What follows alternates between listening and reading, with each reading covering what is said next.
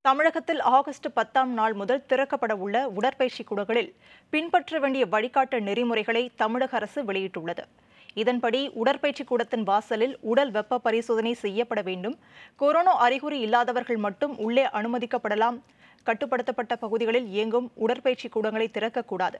ஐம்பது வயதுக்கு அதிகமானோர் உடல்நலக்குறைவு உள்ளவர்கள் கர்ப்பிணிகள் பதினைந்து வயதுக்கு குறைவான குழந்தைகள் உடற்பயிற்சி கூடங்களை பயன்படுத்த அனுமதி கிடையாது.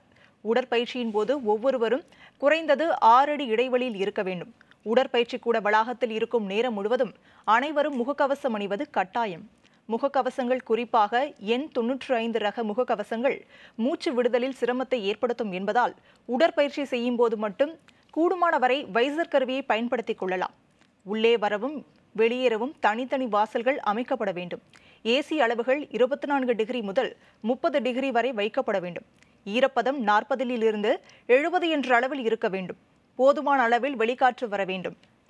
ஸ்பா சாவ்னா நீராவி குளியல் நீச்சல் குளம் ஆகியவை தொடர்ந்து மூடப்பட்டிருக்க வேண்டும். உடற்பயிற்சி கூடத்தின் அனைத்து இடங்களும் தொடப்படும் பகுதிகளும் கிருமிநாசினியால் சுத்தப்படுத்தப்பட வேண்டும்.